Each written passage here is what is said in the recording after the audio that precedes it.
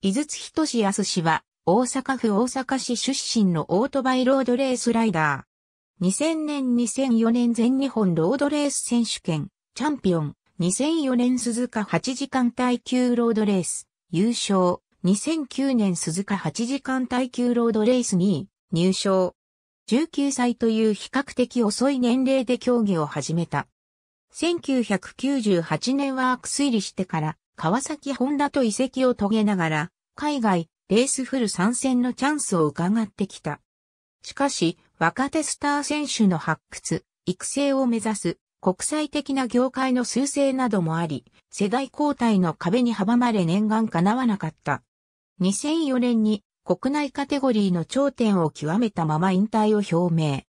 その席上トレーニングで親交のあった宮里ファミリーとの縁でプロゴルファーを目指すとしており、再び表舞台への浮上が望まれていた。2009年2月15日、川崎有力プライベートチームである鶴田隆二率いるトリックスターレーシングより川崎 ZX-10R で5年ぶりに復帰することが発表された。MFJ 全日本選手権 JSB クラス前線と鈴鹿300キロロードレース世界耐久選手権鈴鹿8時間耐久ロードレースに竹石真也選手と組んで参戦している。その後レース活動は行っていなかったが、2011年の全日本 ST600 クラスに不慮の事故で亡くなった高橋豪輝の代役として RS 伊藤チームから参戦することとなった。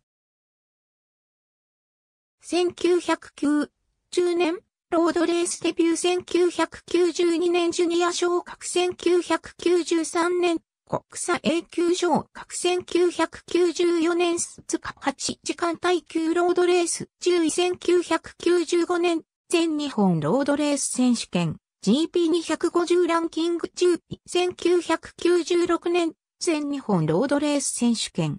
スーパーバイクランキング14位1997年、全日本ロードレース選手権、スーパーバイクランキング12位1998年、全日本ロードレース選手権、スーパーバイクランキング8位1999年、全日本ロードレース選手権、スーパーバイクランキング11位2000年全日本、ロードレース選手権、スーパーバイクチャンピオン2001年全日本、ロードレース選手権、ランキング3位。2002年、スーパーバイク世界選手権、ランキング14位。2003年。全日本、ロードレース選手権、JSB 戦。ランキング4位。2004年。全日本、ロードレース選手権、JSB 戦。チャンピオン。2009年。鈴鹿8時間耐久。ロードレース、準優勝、井筒仁康氏が全日本 ST600 に参戦、決定。ありがとうございます。